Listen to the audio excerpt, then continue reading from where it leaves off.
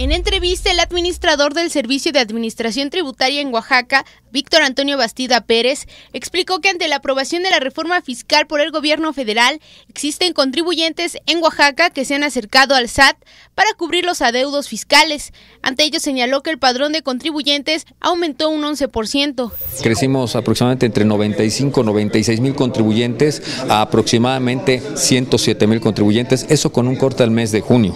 Habría que checar precisamente pues ese compromiso y ese acercamiento y esa confianza que nos ha dado el contribuyente en el mes de julio y agosto, que también ha sido muy importante. ¿eh? Yo creo que sí hemos lo menos levantado entre uno o dos puntos porcentuales. Señaló que la ciudadanía se siente obligada a formalizarse fiscalmente. Sin embargo, dijo, aún no hay confianza por parte de las y los oaxaqueños para realizar dicho trámite, más aún para los que ejercen el comercio informal.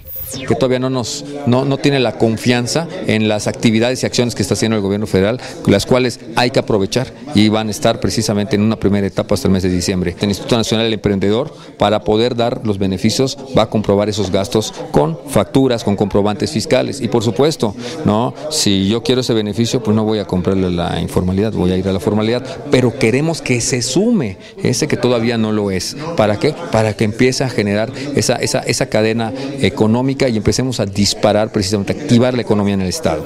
Bastida Pérez aseveró que con la implementación de la reforma fiscal, las mejoras se verán reflejadas a través de los recursos impartidos por el gobierno del Estado, así como la participación del Producto Interno Bruto.